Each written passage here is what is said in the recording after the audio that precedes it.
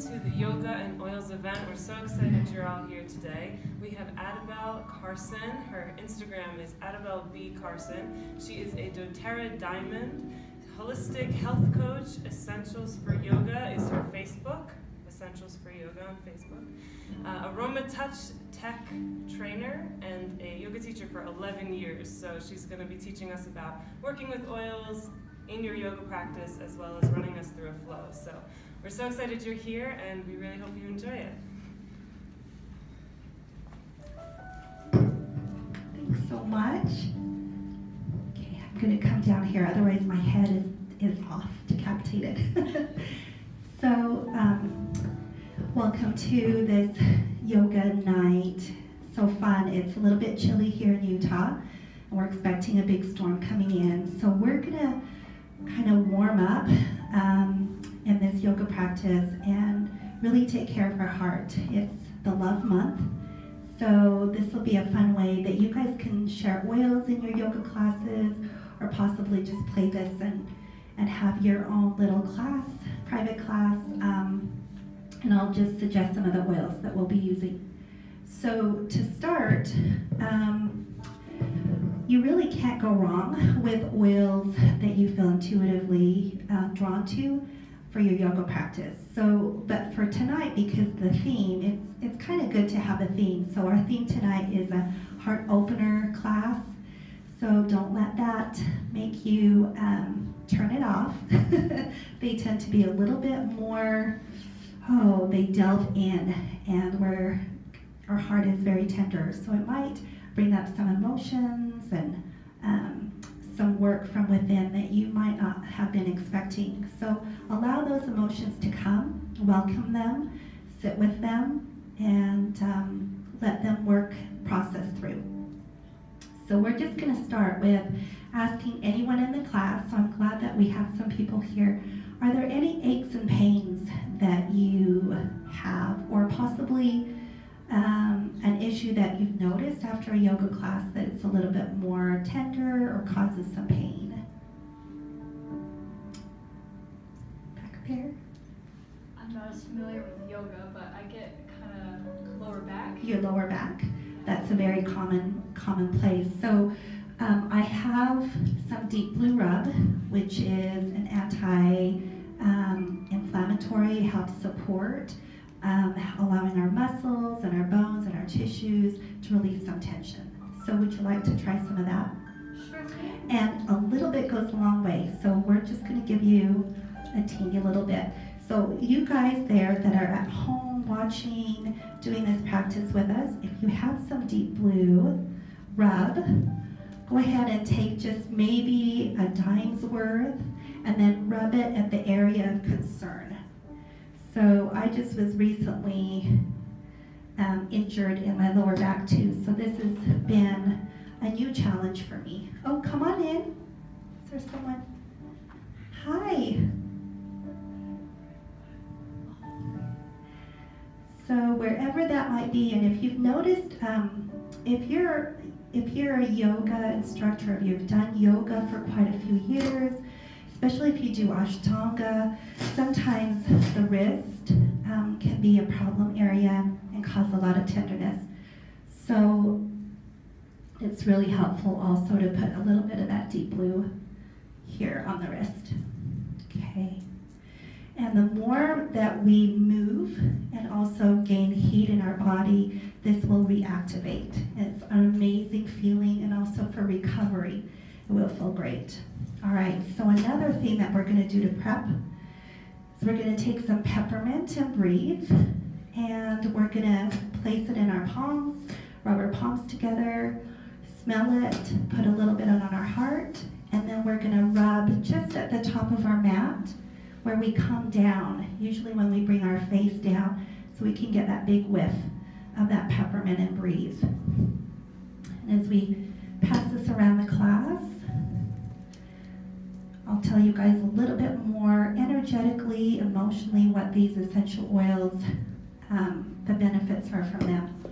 So if you're at home, you have Breathe Respiratory Blend, as well as a peppermint from doTERRA, or if you don't happen to have the doTERRA brand, if you have any kind of um, essential oils that are more for your respiratory system, um, that will help open up the lungs, open up the airways, give you some energy. So peppermint, it's the oil of a buoyant heart. So it's a beautiful one to use, especially for our theme tonight. Yeah, go ahead and spread it um, where your face usually will come and meet.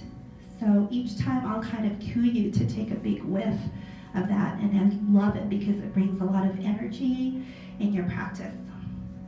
Okay, and then the breathe is a respiratory blend. So this um, corresponds with our respiratory system, which you know, is part of our heart energy. And it reminds us that when it's difficult to take in full breaths of air, a lot of constriction is happening in this area of our body. So it will just help us remind us to fully open the lungs and fully open the heart and receive. And then as we exhale, allowing anything else that doesn't serve us to release, or if we're feeling that buoyant heart, allowing that to release outward around our space. All right, then the final thing that we'll do is some balance. So oftentimes, um, if we live a lot in our head or in our emotions, we tend to feel like like this a little bit with the wind, and um, our emotions can get the best of us, and we seem to be acted upon more than um, creators in our life. So balance is a grounding blend, and I would like to invite all of you online to get something that's grounding. This is all made of um, oils from trees. So if you have cypress or any kind of a tree oil, you can use that. And how we'll use this is put it on the bottoms of our feet. And this is what I do in my classes. I roll the bottles. so that's kind of fun and you guys can roll it to each other. But we're just gonna put a couple of drops on the bottoms of the feet, both sides. And then I'm gonna roll that to you. Thanks. And using your hands, we're gonna just massage the bottoms of our feet. Hi. Welcome. Thank you. Do you need a mat? I do. Oh. Otherwise, I can just use the floor, and that's okay. Okay, I have one in my car. No, it's okay. I can use one. I just use. Alrighty. Totally okay. Okay, so you all at home, if you don't have a mat, yeah, use a, um, a rug or whatever it is that you have at home. So we're gonna rub our, our uh, balance well on the bottoms of our feet and then also get the tops of your, of your feet as well. And as you're rubbing this in, bring awareness to what your feet do for you. All the benefits that you receive from these beautiful parts of your body. And then make sure we come all the way up to the toes. And then lots of nerve endings at the top of our feet. So we create that um, attention as well. And then we'll just slowly lengthen our legs and just bring that oil also up our legs. So this all connects us closer to the earth energy. And this is what we call our root chakra. So this helps us bring balance into our mind, into our heart, and helps us to feel stable, to feel supported by the earth and bring that down so that it really truly can become um, a place where we can feel supported and grounded. All right, so now finally, if you want to just take the little bit that's in your hands, rub your palms together very vigorously. And then we're going to place this at the back of the neck and then up the base of the neck to the base of the head. And then just rubbing the base of the head. So our um, doTERRA Balance Blend has frankincense, which is a deeply healing oil, which also will help our brain, especially both sides of our brain, to balance itself out and engages both. And then finally, just creating a tent over the face and becoming present in this very moment like a tree. A tree is very stable doesn't worry about tomorrow or yesterday. It's present exactly in the moment. So we'll bring our awareness to this very moment.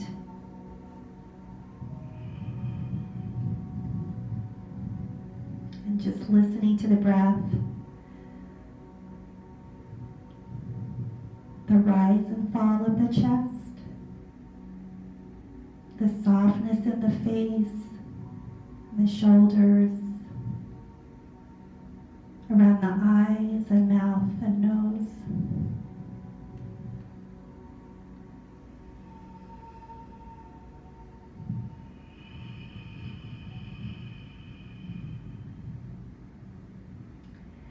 So now because tonight is a heart opening class, we'll go ahead and flutter those eyes open, relax the hands on the floor. Um, if you have a block at home, take that. Since we don't have blocks here in class, we're going to just roll up our mats. So just roll them up with the short side. And thankfully we've got carpet under here. If you were on a hard cement floor, this might be a little bit tough. So if you're at home, just grab a bolster, or if you have another yoga mat, use that.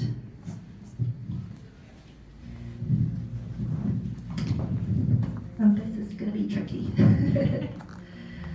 so you're going to bring the edge of your bolster or your yoga mat right to the top of your bum, or where your hips are. And some of our mats are a little bit thicker, so they might be a little bit higher. So um, we're just going to come here and then Put a soft bend into your knees like you're reclining in a chair, and then just use your hands and your elbows to slowly make your way down. And you want to make sure that your spine is supported as well as your head. So if you have a shorter bolster or shoulder, shorter mat or blanket, lift it up a little bit higher so your head is supported. And then we'll take those hands out to the sides at a cactus pose. So putting a soft bend into the elbows, palms are up to the sky. And then just noticing what feels good with your legs. Possibly the knees are up, and then just letting the knees rock in against each other. So that's one option. You can also lengthen them, or possibly bring the soles of the feet together, the knees out to a butterfly.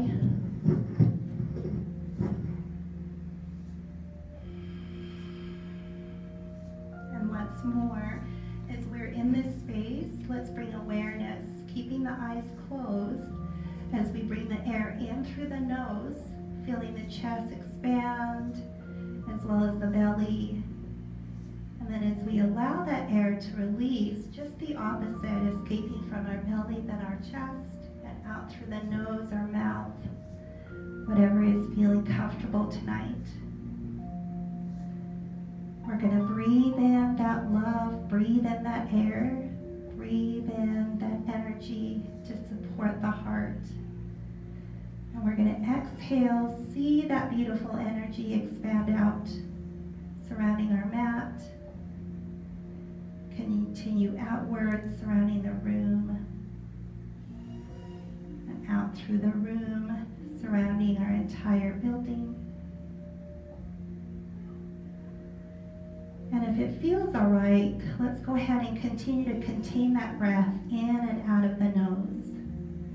But if that Ujjayi breath is not a common practice for you, go ahead and just breathe in through the nose and exhale gently out the mouth. Now let's bring awareness to the timing. Are you finding that your breath is shallow or is it deep and long? If it's still a little bit shallow, you can take those palms, rub them vigorously again, and bring that aroma back towards the face to help you take deeper, fuller breaths.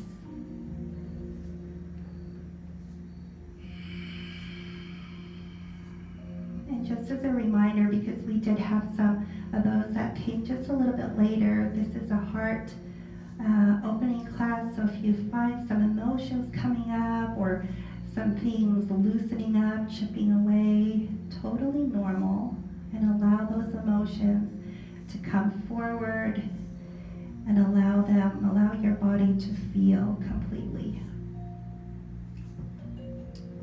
Let's go ahead and take three more cleansing breaths here.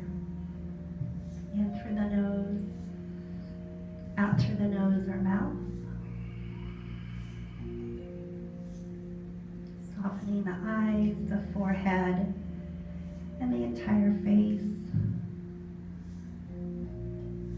And noticing that when we inhale, there's support on our spine and our back really feels and opens up our heart. You can feel your heart from the back as well. And let's go ahead and roll off our bolster, our mat, and come into just resting your head on maybe on your right arm, the inside of your right arm, planting your left hand on the floor, and then allowing that to help you come up. So if you used your yoga mat as your bolster, go ahead and lengthen that out.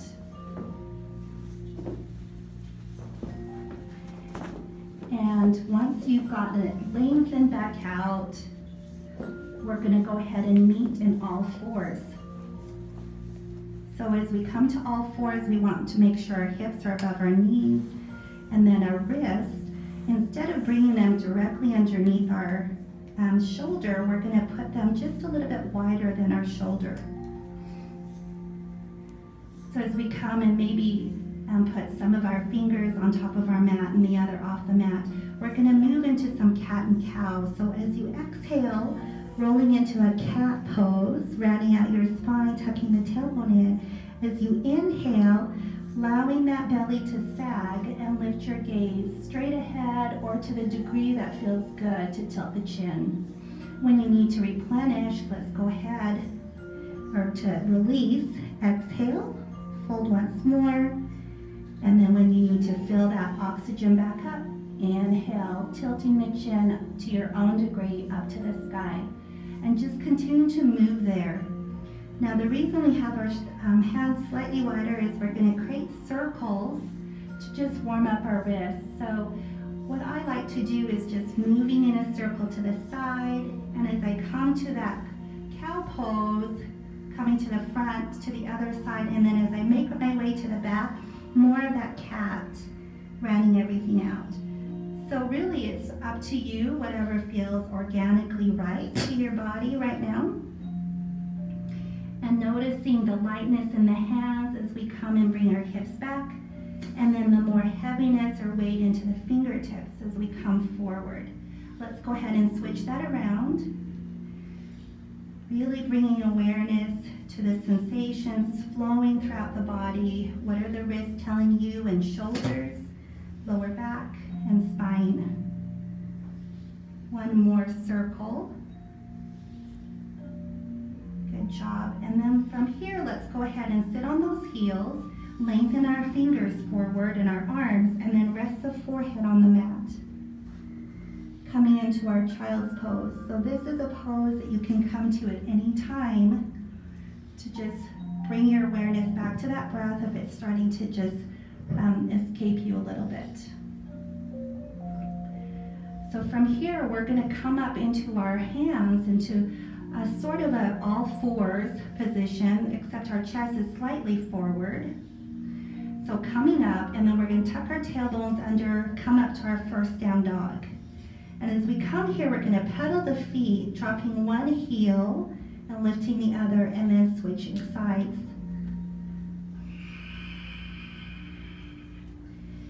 And you can even just maybe bend and lengthen one knee at a time can even do like a little Tahiti movement, shaking the hips back and forth, and drop that chest down towards your toes. And I'll just walk around here. So keep moving there, and then we're gonna bring awareness to our thumb and our first finger. And you're gonna try to squeeze the center of those together, squeezing the mat. And then spread the rest of the fingers out wide and bring awareness to the tips of those fingers, dropping them into the cushiony mat. Good job. Then from here, let's go ahead and walk our hands towards the front of our mat, towards our hands.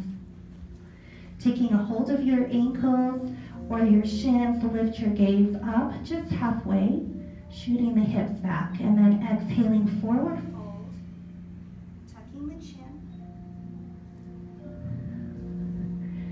Good job. Keep breathing here, finding the crown of the head, pointing that directly to the floor. If you need to soften the knees to get here, totally fine. Tuck the chin. Good job. As we inhale, let's go ahead and keep that soft bend into our knees, rising up, reaching the arms overhead to standard extended mountain. And from here, we're going to exhale, bring our shoulders back, squeezing around our spine to cactus arms, gathering that energy into our heart. And inhale, lift it back up. Exhale, opening up that heart. And back to our center. Inhale, lift. Exhale, open up cactus arms. And then gathering that energy into our heart. Let's do this two more times. Reaching high and then opening up that heart. It's a bit, a little bit of a standing back bend. Reaching strong and open.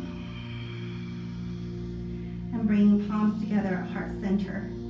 So from here, just bringing awareness again, how did that spine feel, the chest feel, and that supported heart opener? So we want to feel our chest open as if that bolster was still behind you. We're going to take our right arm to back and try to bring those fingers to the side, to the other side, taking your left hand and just taking a hold of the wrist or slightly above the wrist, dropping the right shoulder and then we're just going to bend our right ear towards it.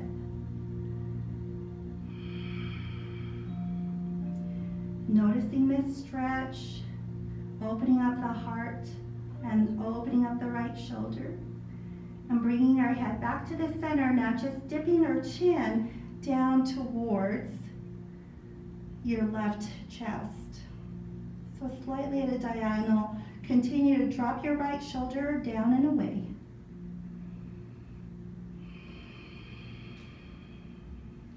and inhaling, release. Lift our arms back up to the sky. Exhaling, cactus arms, and then draw that energy into the heart. We'll move to the other side, reaching around with our left arm, bringing those fingers to the right side, taking your right hand, and either taking a hold of the wrist or slightly higher, and then drop that left shoulder, and then exhaling, allowing your left ear to just tip over towards that side. Nice full breaths.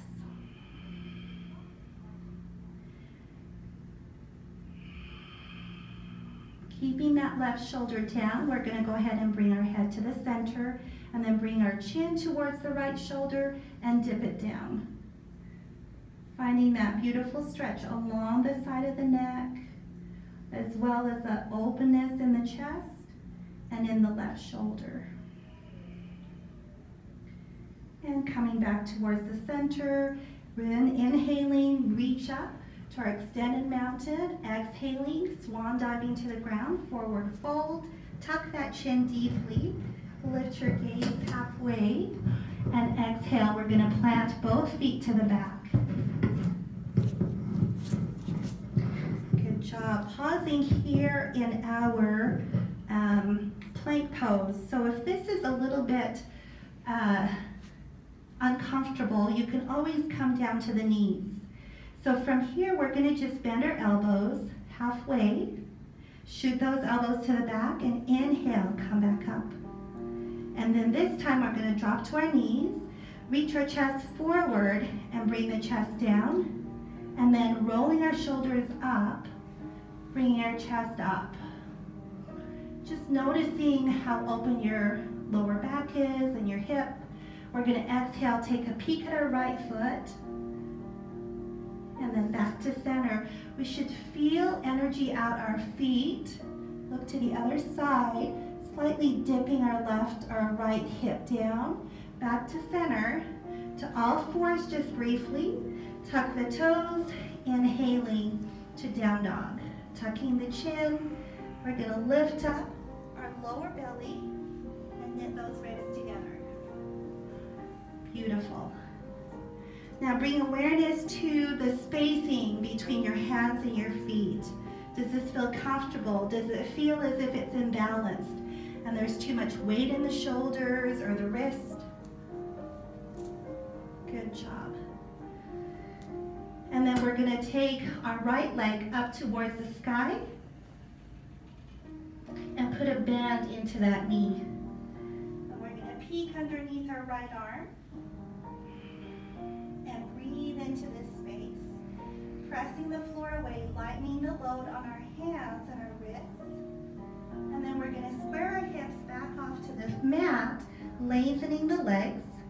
Squaring those hips, bring that right foot next to our right hand. We're gonna open up our heart to the center, extended forward, dropping our back knee. Walk our hands up our leg. Inhaling towards the sky. Now bring your gaze either up towards the ceiling or possibly where the ceiling and the wall meet.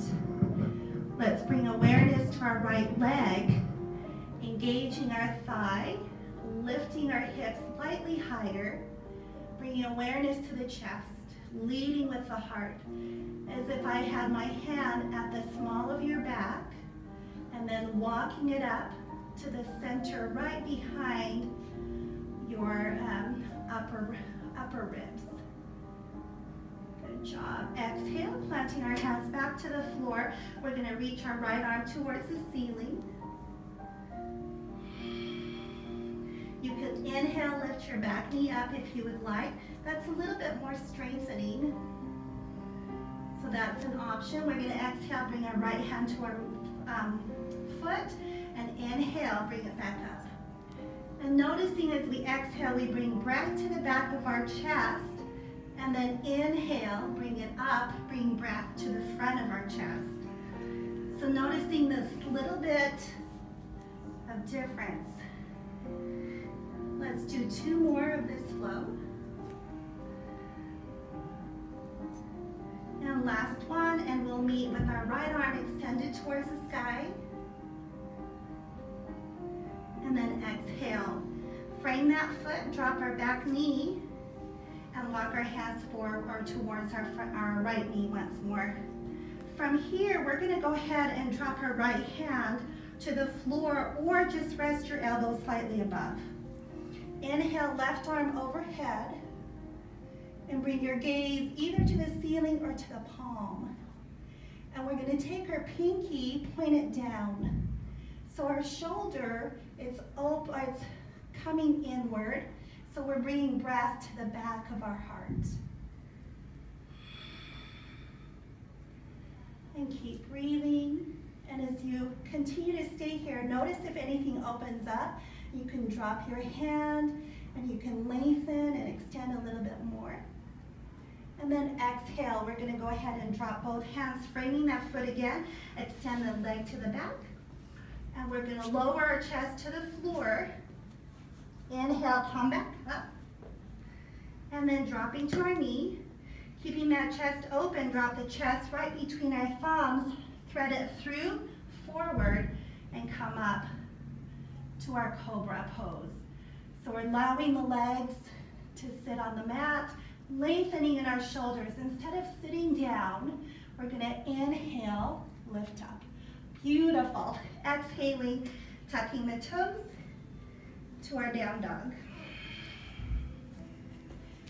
And we'll pause here, listening to the breath, three, for about three counts.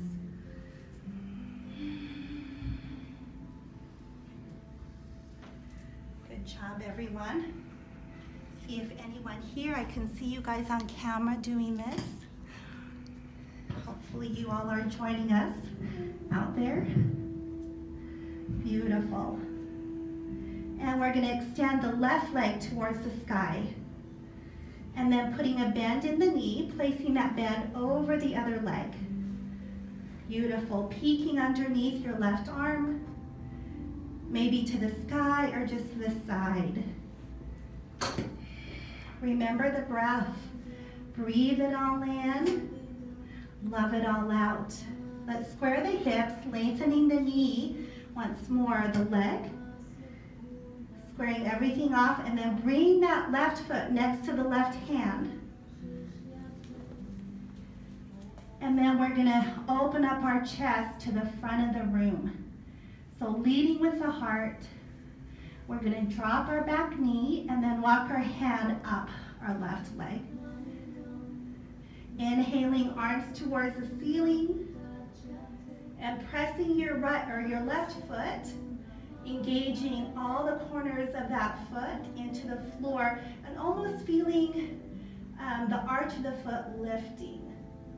Engaging the thigh, so lengthening one vertebrae at a time, reaching for the sky. Exhale, planting our hands so they frame that foot.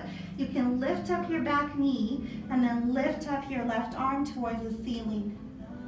Feeling that beautiful rotation as the shoulder comes up. Exhale, drop the hand back towards our right or left foot. Inhale, rotating it back up to the sky. So we're moving into this flow, maybe four or five more times. And it's an option, you can always drop your right knee. Good job. Noticing if there's more space, if things are opening up, chipping away, and breaking up, and you can rotate a little bit more. Let's go ahead and meet with our left arm extended to the sky. Take a breath and then letting it frame that left foot again, dropping our right knee, walk our hands up. So you can drop that left hand to the floor or just rest your knee slightly above or your elbow slightly above the knee. Right arm extends to the sky and then we're leaning into our left side. Bringing the gaze to the sky or to the palm. And then that pinky points to the ground. So it rounds out the shoulder. Bring awareness to bringing that breath to the back. And as we bring that, back, that breath to the back, it will stimulate the heart. Inhale, one inch higher or deeper. And then release, hands to the ground. We're gonna step that right or right, left foot back. Coming to our vinyasa flow, exhaling to the floor. Inhale back to our plank. Coming to the knees if you're not there already. And down we go. Thread that chest forward, up to the sky, to our down dog.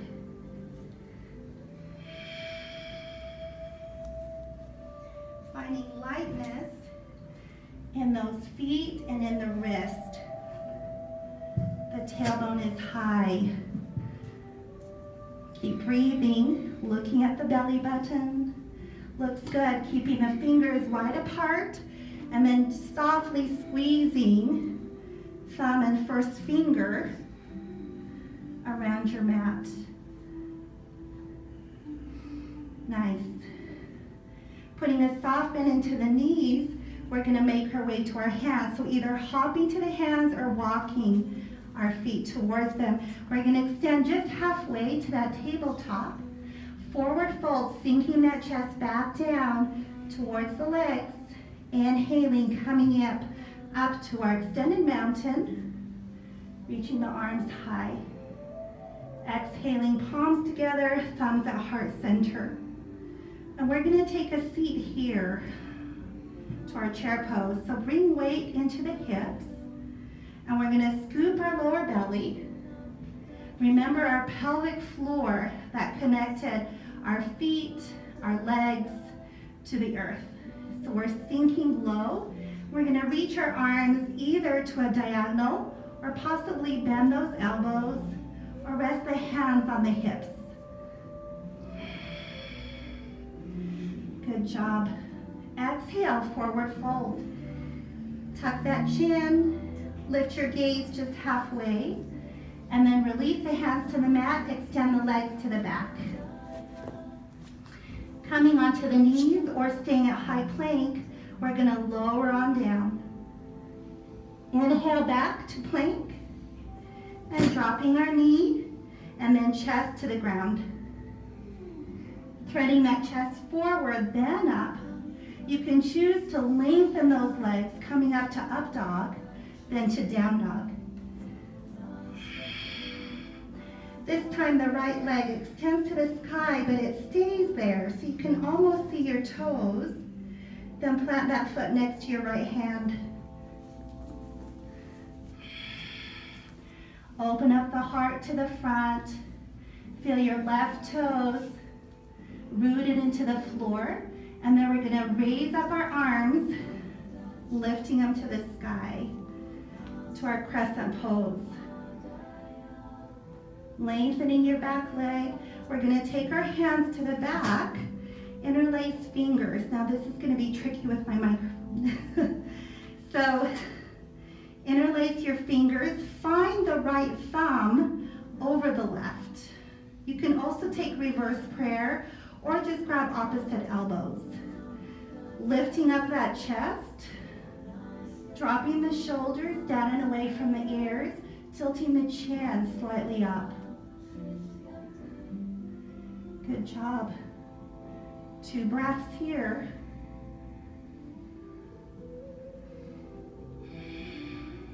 We're gonna bring our chest so it's just coming into a diagonal.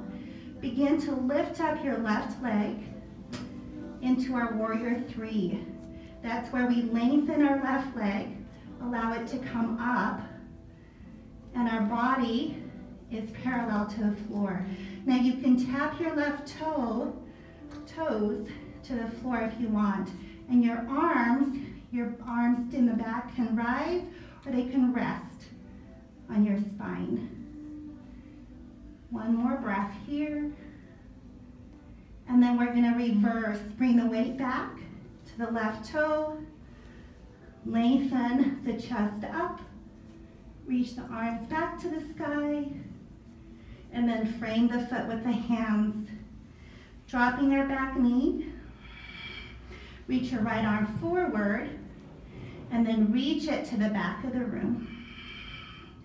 Opening up that right shoulder, exposing the chest to the side, and then that right knee, just allow it to open up to its own degree.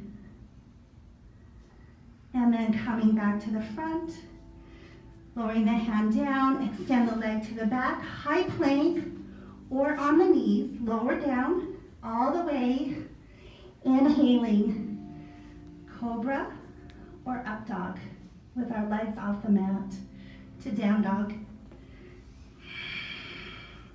Now if you want to take child's pose here, you can. We'll be here for about four or five breaths.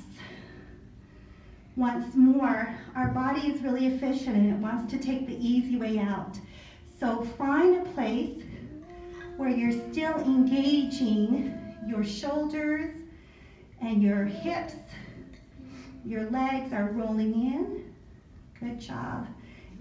One more full breath in. And as we exhale, we're going to hop or walk our, our feet to our hands. Extending our gaze just halfway to that tabletop. Exhale, forward fold. And inhaling to our chair pose again, Utkatasana. And all the way up to standing mountain palms together at heart center. Beautiful. Let's go ahead and brush our fingertips to the mat, coming back up to our chair. Noticing once more, do you need to adjust those arms depending on how the shoulders are feeling? Lifting those toes lightly, sending the weight into the hips and into the heels. We're going to interlace our fingers to the back. This time, find the left on top of the right. Really tricky with my microphone. Opening up the heart, we're gonna forward fold. Oh, baby. Yes. Tuck the chin, lift those arms high above the head to your own degree again. And then exhale, release the hands back to the floor. Inhale, lift the gaze halfway. And exhaling to your plank pose. So either walking your feet back, staying on the toes, or coming onto the knees. Exhale just halfway. And then inhale back up, dropping the knees, threading that chest forward, and then down to the floor. Cobra or up dog, beautiful. Exhaling down dog. Did you take a big whiff of that peppermint? Give you a little bit more energy as we come to our last side, lifting up the left leg, keeping the hips square this time, so possibly you see those toes dangling. So this is a bit more, a little bit more strengthening, engages that entire leg. And then let's go ahead, giant step, placing that left hand next to, or left foot next to your left hand. Open up the heart first, bringing your gaze forward. Feel the right toes and the ball of the foot rooted into the floor. Inhaling, raising those arms up, coming to our crescent pose. Good job. Sinking into that lunge, but we're going to engage our thigh, lifting up the knee, which lifts up our hip, which will lengthen the spine. Dip back a little bit more if there's space. We'll just walk around, lightly pressing at the higher back to expose that heart. Good job.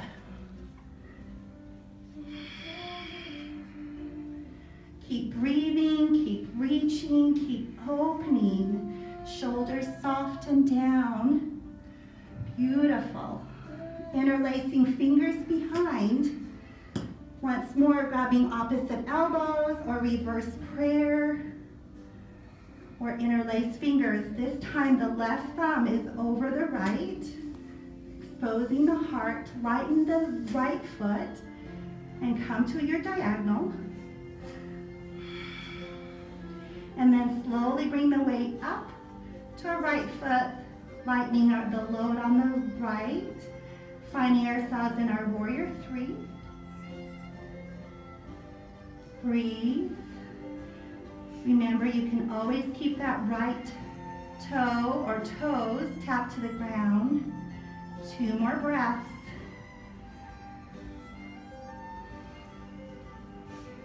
Gently dropping your right foot back down. Inhaling arms to the sky.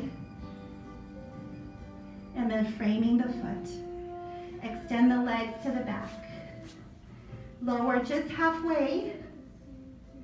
Back up. Dropping our knees. Bringing that chest down. Threading it forward. Coming to up dog or cobra. To our down dog or child's pose. Beautiful.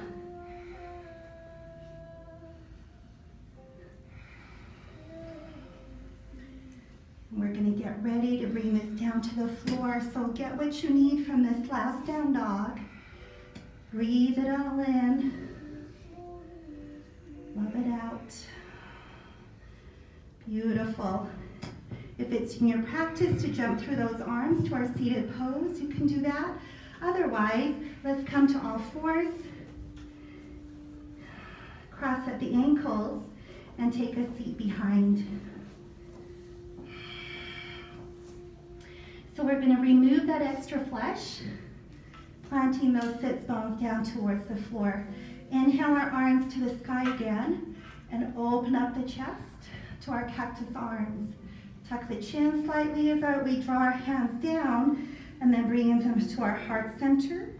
Inhale, lift them up once more. Cactus arms. Drawing that down towards our hips, tucking the chin, and then palms together to our heart. Interlace fingers, lift the arms. Good job. And exhale, we're gonna take those hands, just reverse them and possibly planting them on the back of our feet. And if you want, you can bend those knees, take the hands there, and then relax your chin down towards the chest.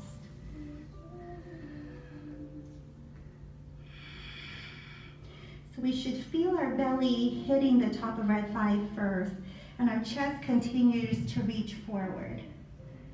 Good job. Inhale, lift the gaze, and exhale. As we come up, just squeeze those legs. Bringing your palms up so they're about um, our, they're just shoulder height. And then we're gonna take those hands about a foot behind our hips. Open up the chest again, lift the heart. So this is option one. You can stay here and really open up the chest by opening up the shoulders around the spine and using your triceps that they're pointed to the back you can also press your big toes together and then inhale, lift up the hips and tilt your gaze up. You can also bend the knees. Squeeze the glutes and come to that tabletop position. Opening up the chest. Make sure you're breathing once more as if my hand was at your upper back, pressing lightly, gently, and then releasing back down. Hug everything in, curling into a tight ball. Good job. We're going to go ahead and just drop our right knee down to the floor so our left, our right foot is next to our left glute and then our right foot, our left foot goes on the outside of our right knee. We're going to take a little twist here. So using your left hand as an anchor to the back you're gonna take your elbow on the outside of the knee or just hug that bent knee close to the chest. Scoop that lower belly in, deepen your twist as you bring your gaze to the back. Soften the face, smooth out the forehead. As you inhale, lengthen the chest and the spine a bit more. Exhale, deepen your twist. Good job. And inhale, tilt your chin up. And then we're gonna drop it down towards the chest. Make a circle as we bring it towards the front of the room, tilting the chin to the diagonal and exhale, release. Counter stretch the opposite side, just opening up the heart briefly. And then we're gonna take a little flash dance pose. If you don't know what flash dance is, that's okay. we're gonna reach our legs up and then just the opposite. So our left knee is down, our right foot is on the outside. And that left foot is next to your bum. And your knee is up high. Using your right hand as an anchor, anchor behind your hip. Using your left elbow on the outside of your right knee or just hug it. Inhale, sitting up a little bit taller as you scoop that belly in to create more space. Lengthening. And as you exhale, deepen the twist, sinking a little bit lower into the hip. Jut the chin up slightly to that diagonal and then down towards the floor as it works its way around to the front, diagonal, Exhale, a little bit of a counter stretch over to the other side, sitting up nice and tall. And releasing. Once more, we're gonna curl up into that tight ball. And then we're gonna rock back and forth and bringing our spine to our mat. So if it doesn't work for you to rock and roll on that spine, just go ahead and bring your spine down to the ground. You can hold on to the back of your right thigh and gently bring your spine down to the floor. And then from here, let's go ahead and bring our legs up towards the sky.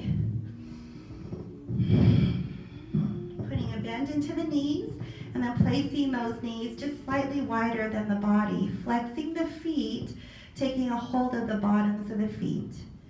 Coming into our happy baby pose, we're just gonna rock from side to side as we draw those knees closer along the side of the body.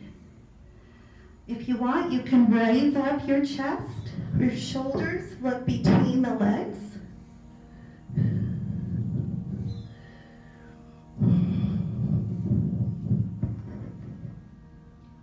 And then begin to bring that movement to a stillness, bring the head back down. And we're going to just rest our knees above our hips, bring the knees together. And then taking your right knee over your left, taking your left hand and bringing those knees over to the left side. Extending the right arm to the side and then we're going to follow that with our gaze, tilting your head over to the right side. Gently close the eyes. And feel the entire weight of your body. And with it, any last bit of weight that you don't need or weight that feels too heavy. Allowing that to be deeply supported by the earth.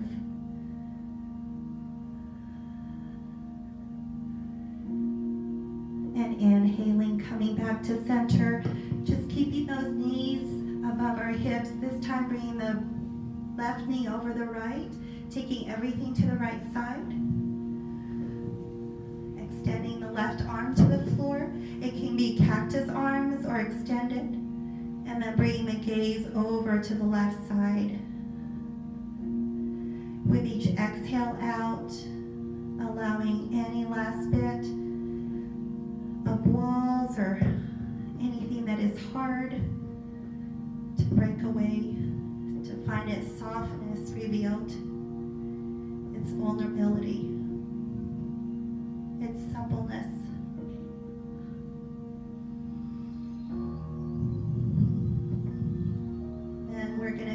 Back into the center. Keeping the knees up, we're going to bring the soles of the feet together, the knees out to a diamond shape, reaching the arms by our ears, and then exhaling, bringing them to cactus arms.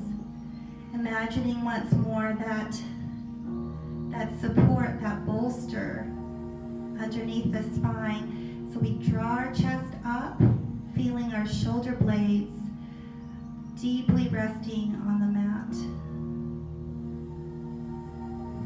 And gently rocking the head from side to side until it finds its most natural place to rest.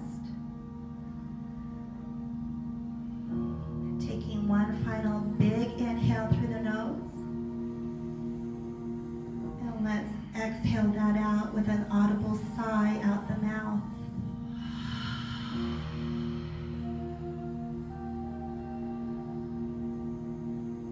One more time, in through the nose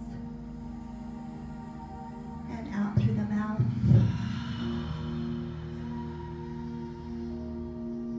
You're welcome to stay here or go ahead and move to your deeper Shavasana pose, lengthening the legs, possibly allowing the arms to come down alongside the body. Allow there to be enough space between your legs so that the ankles can fall away. And as we come to our most important pose of the night, I invite you to let go of that breath and any sensation in the body. And to find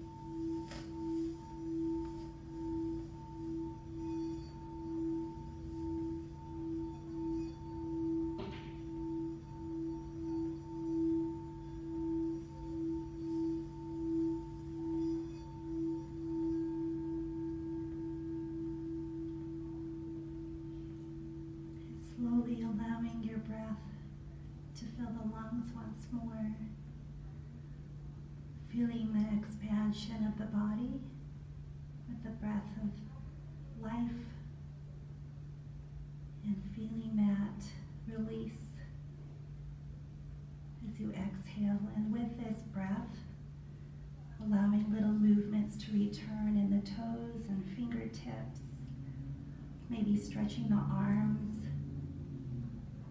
above or beside by the ears, whatever feels organically right to wake yourself back up. And finally, I have some passion inspiring blend to share with all of you. And this also imbues energy and warmth into the heart, connects us back into our passions uh, with a renewed energy into our life. So if you would like some of this oil, keep your palms open. If you'd like to skip me, just or skip the oil, just place your hands over the belly.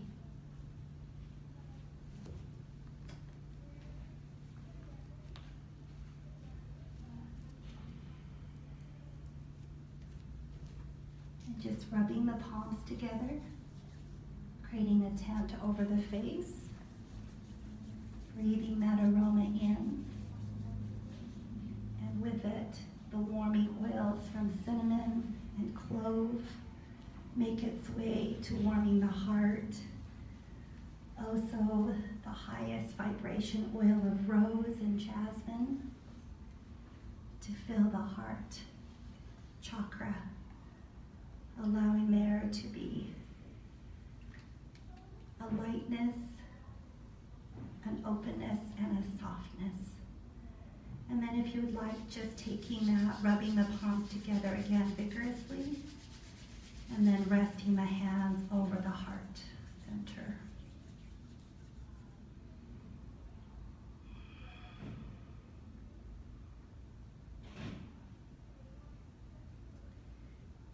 We're just going to end here, and it's up to you whenever you feel ready to come back up into a seated pose. And possibly here with our palms connecting us to the heart energy. Bringing awareness to someone that is very meaningful to your heart. Or possibly sending that love energy out to someone special. And keeping that person close as you breathe in and breathe out that love energy.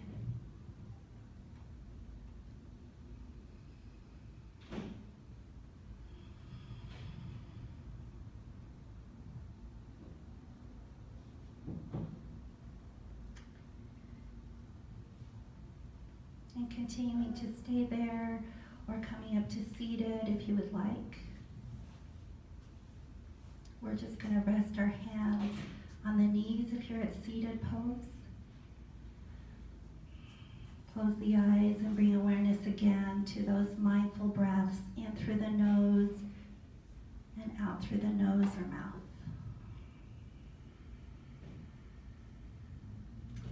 Now let's go ahead and plant our palms together and rest our thumbs right against the heart. And then taking the energy of the heart, pressing that against the thumbs. A powerful pose, a powerful energy symbolizing this love, this light that we have within, to sharing that with all those around us and in this world. And I honor the light and the love that is in each of you. Namaste.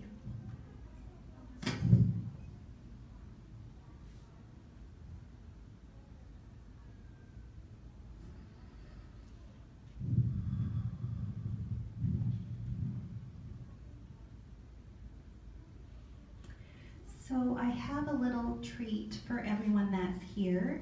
I made some chai latte. Um, I love having a yoga class and then giving everyone a warm tea afterwards. And so would you mind just hitting that just to warm it up one more time? And um, the recipe is on my Facebook page or my Instagram page. Um, so you can go to Essentials for Yoga um, on Facebook or Adabelle B. Carson on Instagram, and it has the recipe there. Super simple. Um, you can make it your own and add whatever sweetener that you like. And we're going to add some um, four oils, four oils tonight. So you don't want to add that in when you're heating it up. Just add it in after it's heated. So we'll do that, and you guys can take a break if you want, and then as we're drinking our tea, we're going to dive in just a little bit into how you can make a yoga and essential oils workshop or a class and make it your own.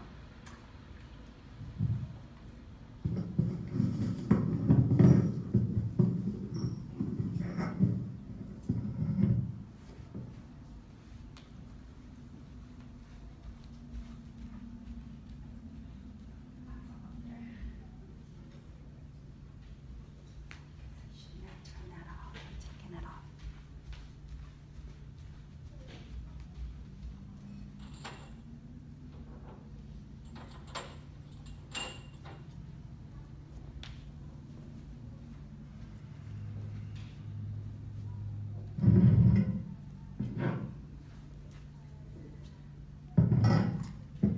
So sorry. I hope this sound isn't as grating as it is for you guys on the online is it was here for me. I can hear like every breath that I take and every movement. So, so I'm gonna see if I can just put it here and make it not so, not so um, irritating. So we're gonna drop just one clove essential oil here. And again, these are doTERRA brands, so I don't know if I would trust any other brand to take internally. Um, then this is ginger one drop. And you would want to just let it cool a little bit um, before you put the oils, and then one drop of cardamom. So we're using oils here that are great for the digestion as well as the respiratory system. And then we have cinnamon, so very warming. It's a strong antiseptic. So, but um, I love all these oils because not only do they warm the belly, but we know as they warm the belly, it warms our heart. And you know what? If you're um, heard that saying, now I'm going to forget it, but um, the way to a man's heart is through his stomach, right? Something like that.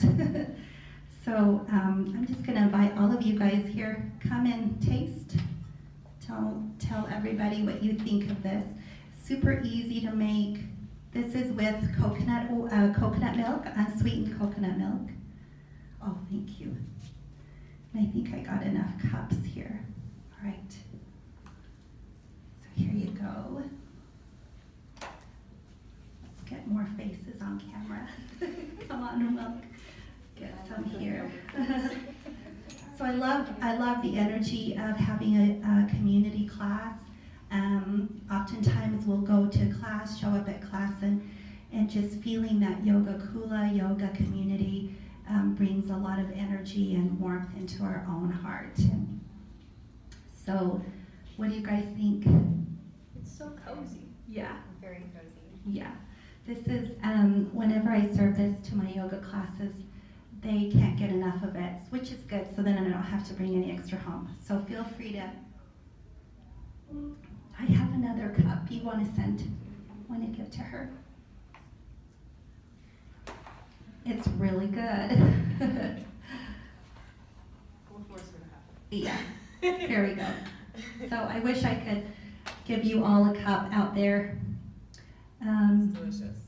online. So try this recipe out and you can, I put it in a little jar and just will keep it in my fridge. It will keep for at least a week, maybe more, I don't know. it's usually gone by then. And then just warm it up as needed. So um, as we sip our tea, we'll go ahead and open this up to um, any questions that anyone has.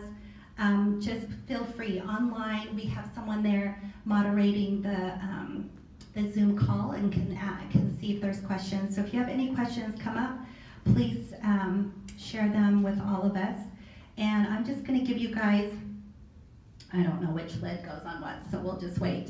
Um, just some of my thoughts about uh, teaching yoga with essential oils. So just a little bit of a background. Um, ever since I started teaching yoga, I've always used essential oils. Um, and that was that was before DoTerra's time, that before the company was created. And thankfully, I live here in Utah, where there's there was a very large um, essential oil company close by, and, and their employees would come to my classes and give me bagfuls of free oils. So I love that. Um, but in time, I had to go search out for other oils because of some situations that came up, and, and some of those oils weren't working.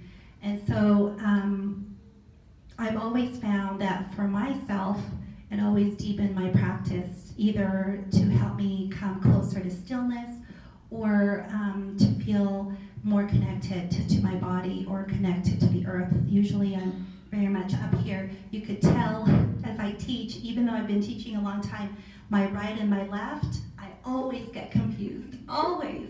And so, um, so again, that's because more of my Vata energy.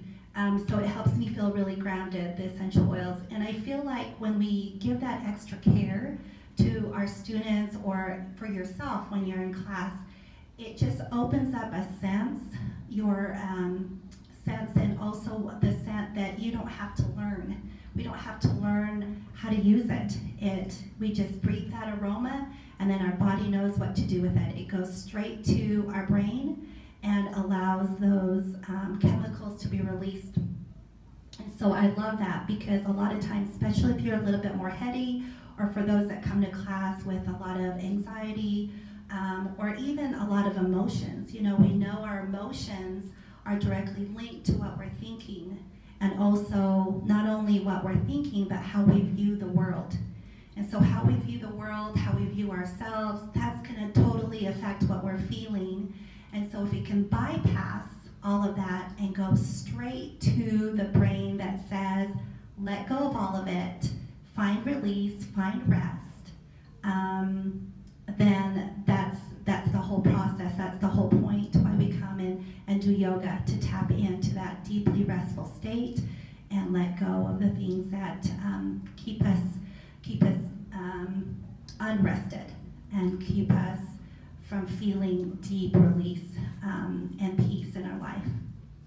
So some of the other ways that I've done, um, let me go ahead and get some of my materials up there.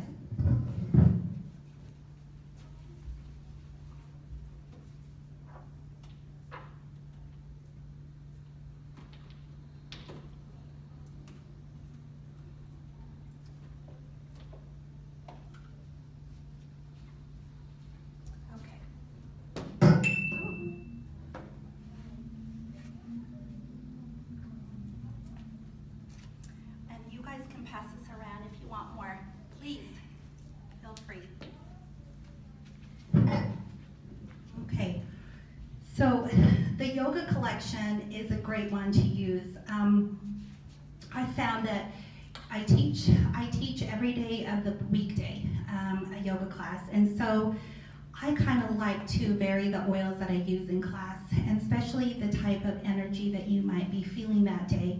Really use your intuition to um, to use the oil that you feel drawn to for that day.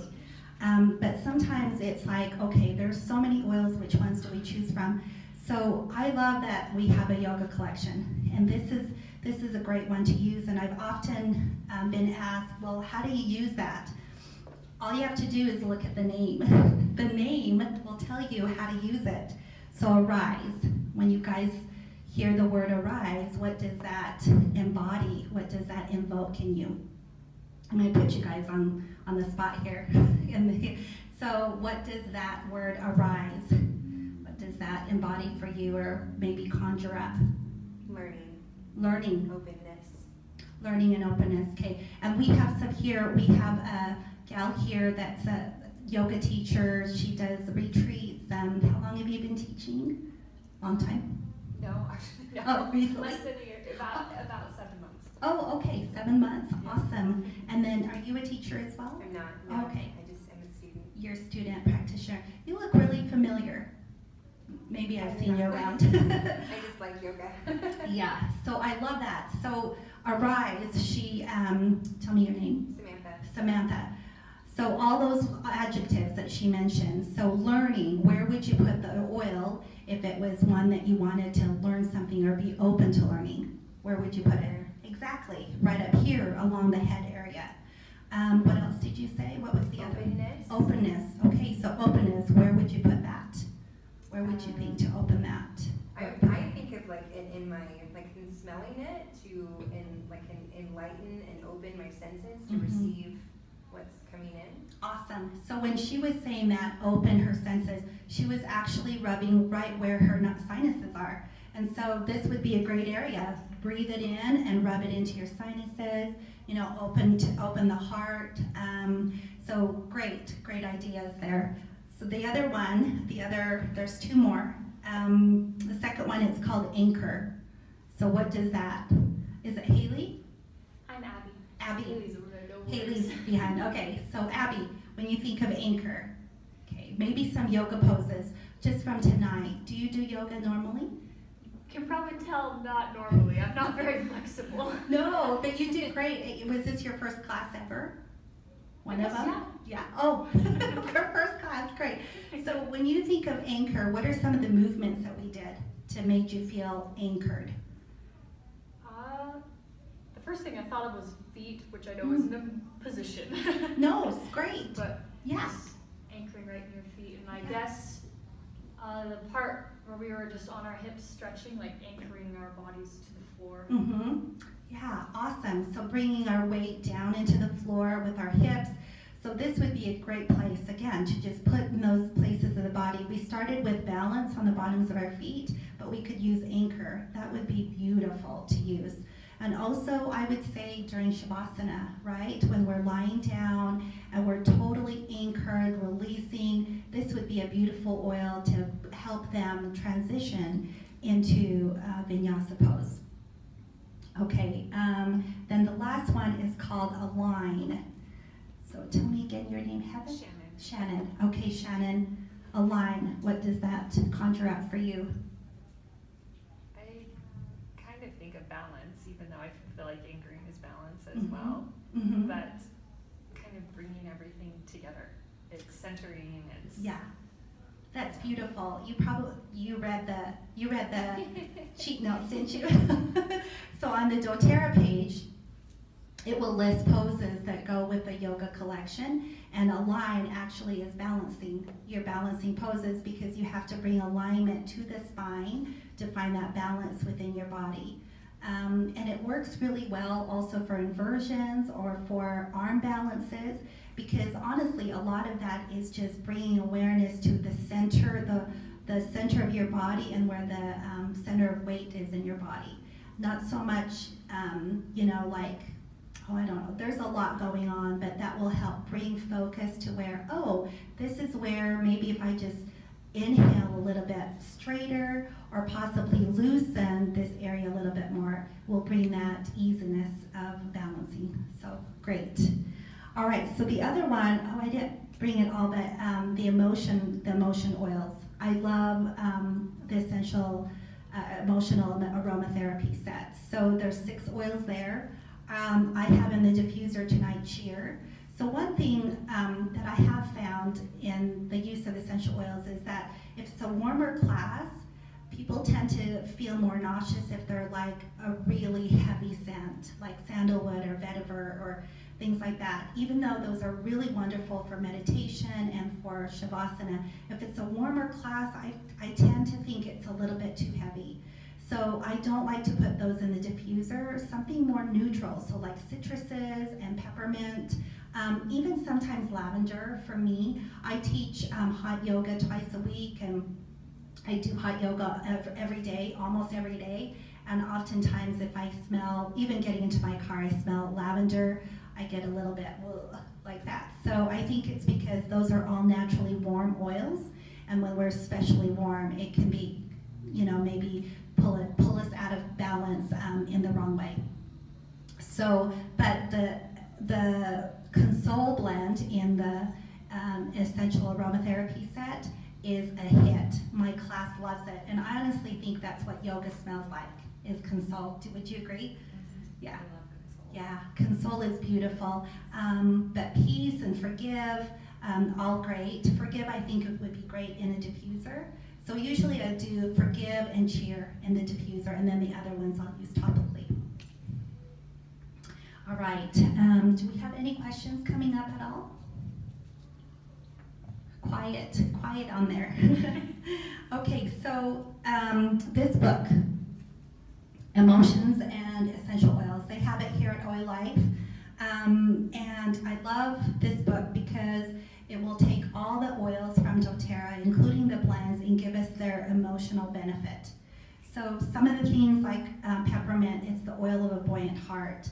It will tell you the beautiful qualities of what a buoyant heart means, and also um, will we'll talk about some of the things that it will dispel. So um, this one, I think for the buoyant heart, it will dispel um, feeling stuck and feeling like you're just grinding through life and there's not that freshness. It also will, it says um, something to the effect of, you know, sometimes we find a stillness in our life or where we can just settle in, we're in that comfort zone and we want to stay there for a long time. Peppermint kind of helps us come out of that because um, sometimes energetically we just stay there and before we know it, it's been 10 years. and we're like, oh, boy, I didn't do anything scary for those 10 years. And also that might mean a stagnation in our, our progression. So um, peppermint helps combat that. So this is a great tool to have. Um, so I also go and do hot Pilates just because Utah is so cold this time of year and it's a room full of women, it's usually packed. It's so smelly, you guys. It's so stinky. and if you go to, to a hot yoga or even wherever, um, I also do retreats and we'll go to Thailand and mostly in Asia and it's very humid and the, the mats start just reeking. And um, I haven't found anything better to clean naturally than just water. And then there's uh, four oils that I put in here. So this is another way that you can use essential oils in your yoga practice, which brings a beautiful energy because you don't have that alcohol smell, um, that, I don't know, that uh, antiseptic smell. And all the oils I use here on guard, which we know one drop in a liter of water will, you know, kill all the bacteria that's in the on your mat. Um, it has lemon, so it um, helps cleanse any kind of grease or scuff marks, um, dirt, things like that. Has purify, which purify is again has tea tree oil and then three different um, uh, citruses and also citronella, and then um, peppermint. Did I list them all? On guard um, lemon, peppermint, oh, and purify. That's it. So the peppermint I love because, again, it just gives us this very clean smell, um, but also, it kind of, I don't know, it just settles into um, the fibers of our mat and kind of goes deep and cleanses all of that debris and, and yuckiness that can kind of get in there. And so if you wanted to uh, wash your mats a little bit more thoroughly, just take a bathtub or maybe just like um, a big, you know, container of sort and just put enough water to cover your mat and then drop these oils in the water, kind of squish it around and then just let it sit there. You might want to take a, a cloth or a, a sponge and, and wipe it down a little bit and then just hang it to dry. So that's, I've had this mat for the entire time that I've been doing yoga, so about 13 years. And so, um, and it doesn't smell. You guys can't smell it, okay? it doesn't smell bad. So I will, I will normally wipe it down with this in each class. And so if you have a studio um, and want to go all natural, um, and this is a great way to do it.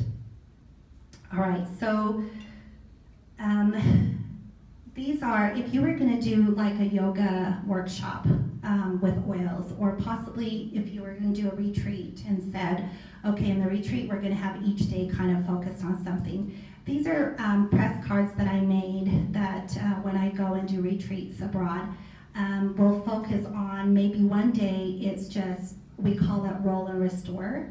So it's a yoga sequence, but then you're using a foam roller or one of those balls. So you're getting your fascia work in. And then this just lists like four of the different um, fascial lines, the more uh, prominent ones, and then some poses, oils, uh, pranayama to do with that, and um, and then where to place those oils. So you could create little cards like this, and like there's so much that you can do, right? It could be one for sleep, um, that entire like yoga nidra, a yoga nidra class. The other one I have is an Ayurveda class, so we kind of do a test, find out what your doshas are, and then essential oils that will support that dosha. So this is really easy here. They can, there's a simple recipe that they can make a little um, essential oil spray that they can use meditation or pranayama again or before practice to help balance out that dosha. And then finally, my other one that I really love and kind of started with is the chakra balancing. So this is just goes with what oils will balance out those chakras. So we started with that breathe oil. That's for the heart chakra. Um, it balances that out. So, and I use the protocol that um, Laura Jacobs um, shares from the very beginning of time until now. And I found of all the people that I've ever balanced their chakras, this energetically will work like that. So I love that, and this this would be like three four hour workshop that you could do, um, and just teach them how to use the oils and where to place them. So lots of great things. Um, this is these are let's see these are my last copies of Essentials for Yoga book. Um, these were available for quite a long while, and I've been updating them for the last two two years kind of slow, but um, we're putting all original artwork in there and then we're getting them compliant. So um, everything's almost done, just my daughter is doing the watercolors. But this is a great one. Um, people would just buy in packs and then instead of doing these simple ones or these one-page ones, everything is in here. So it talks about chakra balancing, dosha balancing. Um, it even has recipes for henna. So watch for that. Um, if you want to know when that comes out, just hop back to Oil Life and it will show it. Yes. How will you know if your chakras are out of balance? So that she just asked, um, how do you know if your chakras are out of balance? So it's you can use pendulums. You can ask yourself and do muscle testing. So there's lots of different ways you can. There's also online tests that you can do, like multiple choice questions to see which chakra is out of balance. If you're, um, if your uh, meditation, if that's very normal in your um, self-care routine or possibly, you know, your spiritual routine, you can meditate and ask, which chakra should I work on? So there's seven, and so honestly, sometimes you can just go with like looking in the mirror and looking at your body and also combining that with how you're feeling, that will tell you which chakra is out of balance. So like when I look at the body, my body right now, oh, I see that acne. acne is a little bit prominent, and um, and then maybe I'll look at, oh, I'm not getting enough sleep. So I know that possibly the chakra that's not balanced for me is my third eye. Like this is really busy right now, and if I'm showing acne here, that maybe there's some um, some issues going up here in my higher chakras. And so to bring balance to that, I need to bring myself closer to the earth. So I'm going to put you on the spot. Is that okay? Yeah. So how are you feeling like right now? Just do a gentle scan. Well, the first thing that came to mind when you said that was, um, I think the yellow one is your stomach. Mm-hmm. Um, I ate not so well during Super Bowl. Yeah.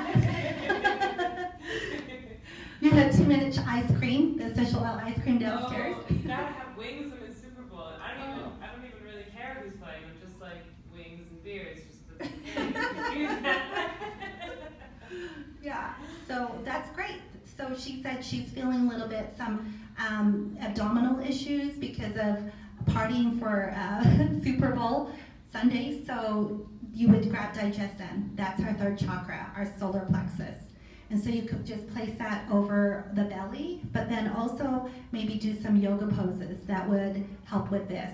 So cat cow helps with this, boat pose, anything where you have to use your core. Um, a lot of twist. A lot of twists are very detoxifying and will also cleanse any kind of that pent up energy in this area. So just thinking of it like a pipe So if there's blockage anywhere, sometimes it will stop everything below or everything above. And that, that flow of energy can't move in a peaceful, balanced way. So, yeah, perfect, perfect example. So just tune into our body, what we're feeling, and what we're seeing when we look in the mirror. Okay, um, any questions coming up? I have a question. oh, yes. How do you muscle test yourself? If I want to find out, because I'm thinking when she's asking about her chakra, I'm thinking mine's like all up here. Like Yeah. I feel very, I'm going from one thing to another, and then there's like anxiety, and. I'm trying to kind of slow down. So how do I Mhm. muscle test myself to know If that tr- truly is. if yeah? So there's lots of ways, but the one that I use is I just create a ring with my finger, and I'll just put this down.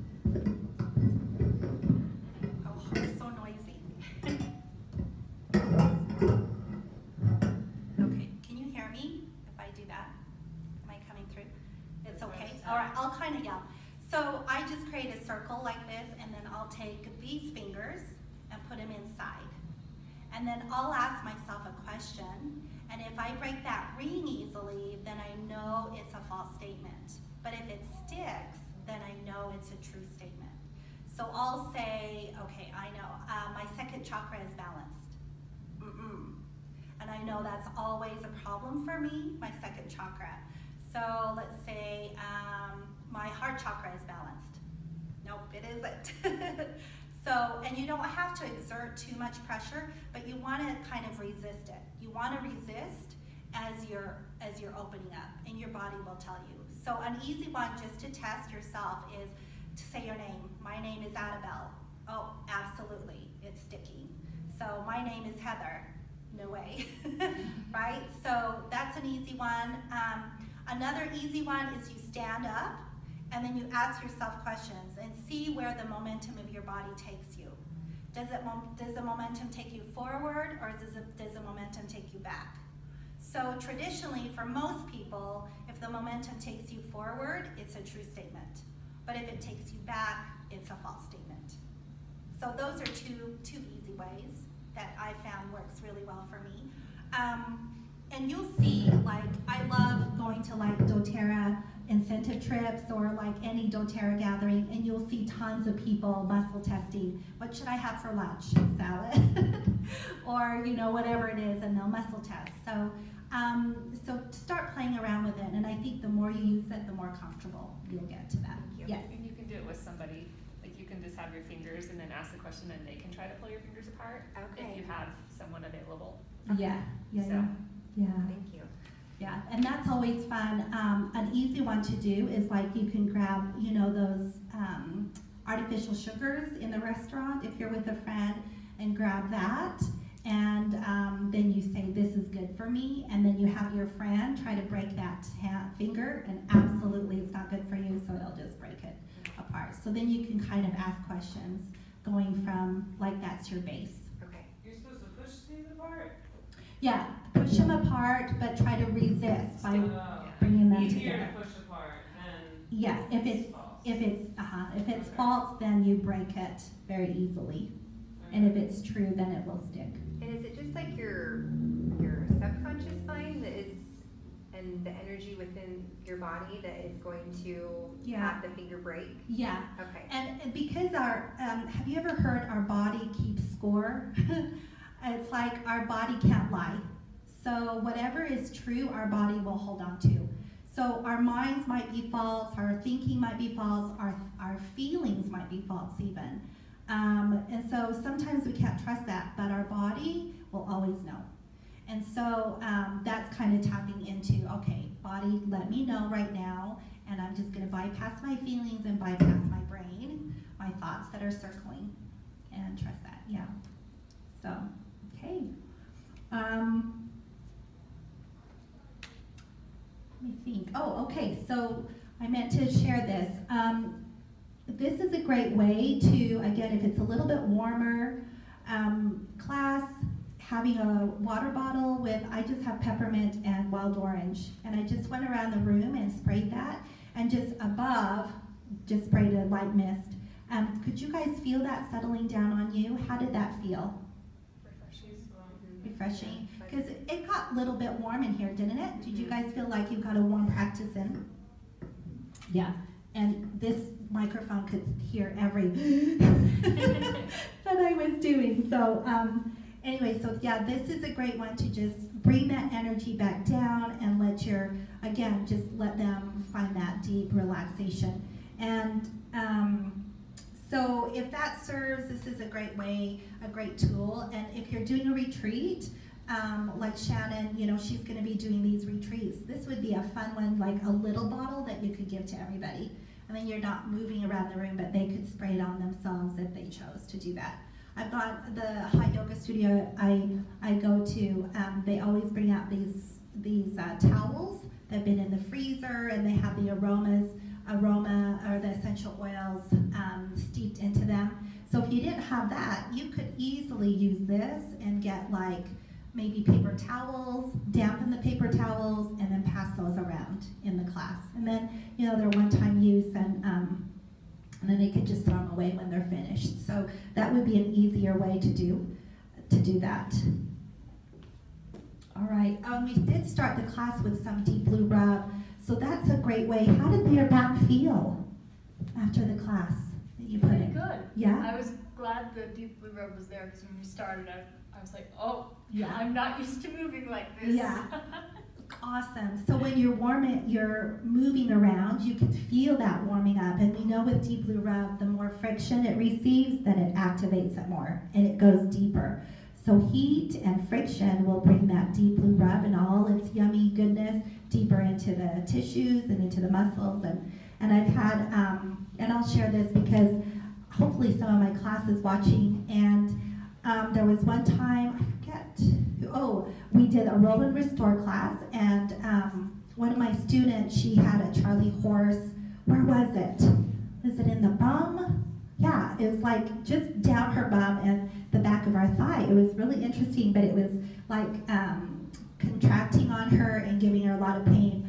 And I didn't have any deep blue rub, but thankfully had cypress, and I gave her cypress, and instantly it went away. Instantly. So you always want to have some kind of the, the essential oils in your tool belt to help your students. Like maybe as they come out, maybe they're feeling something not quite right, and then you can give them an essential oil. So it's good to know your oils for sure if you're going to be teaching and know their benefits. Um, and cypress is great because it's specifically for muscle spasms um, and for uh, connective tissue. So it's perfect that, that we have that. Um, so what, what should you bring to a yoga class? All of this I can fit in my little tiny um, uh, yoga tote. So not too much, and you don't want to, uh, at one time I did have my oils out and I would have my class members choose what oil they wanted. But then what I found is that it got too much because everyone would either, like some would pick a really musky oil and then someone else would pick maybe like a floral oil and and then another one an herb oil and then one like a tea tree like a cleaning oil and all of that became too much and too heady so now i honestly will pick exactly what oils to use in the class and no more than four i would say and stick to stick to ones that are very light not too heavy. If you are going to use a heavier one possibly start the class with that maybe with like a pranayama practice and start with sandalwood or vetiver or you know whatever else that is very grounding frankincense. Now frankincense is if you like if you add that with like a citrus it's beautiful. It's not too strong. Sandalwood as well but again that's a little bit more thick um, and myrrh even though that's lighter that's really powerful i think for the aroma especially as you're breathing that in through a warmer class so um, maybe play around with it first at home see what, what feels good with you and then try that out. Um, now there's specific classes where possibly you don't want to use oils and ask first. Um, those could be like trauma-based classes or um, yeah, just classes that you have to be really careful of those that are coming to the class because as powerful as aroma is to help heal emotionally, it can also be a powerful trigger in the wrong way. So we want to make sure that we're always asking if essential oils are okay to use in the class. And allow them to come up to you, um, give them enough time to come to, up to you privately if there's an issue with that. And if there's one person with an issue, then don't use it, obviously. Um, and maybe you could offer like other things like lemon. Would lemon be okay? Or wild orange, you know, some of those lighter oils, the citruses, the single oils instead of the blends. Balance, on the other hand, is a perfect oil, the one we started with for all, usually even for a trauma-based class. It's very grounding and, and, um, it, and the, the smell of the forest generally has a very soothing effect for most people. All right. Um, so, Oil Life marketing people there. what else would you feel I should touch on in this class? I think you did an amazing job. Thank you. yeah.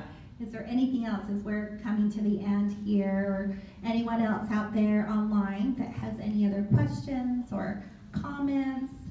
How did you guys feel online if you did the practice with us? They're a quiet crew. I bet. How many are there? Um, there were, I think, 15 at one point. Okay, I think there's six now. Six. Okay. I think a lot of people are going to see the video after that. see the video. All right. So hopefully, um, if you do have more questions as you're if you're watching this after the live video, feel free to find me on Instagram or Facebook and um, ask away or comment away, and I'd love to hear from you. And um, so that's it. I think we're ending early, but that's all right. Thank you so much, Adabelle. welcome. You were so wonderful. Everyone, we really enjoyed Adabelle, did we not? uh, her Instagram again is Adabelle B. Carson. That's A D A B E L L E B C A R S O N. I'm surprised I got that right. Um, and then her uh, Facebook is Essentials for Yoga. That would be facebook.com slash essentials for yoga.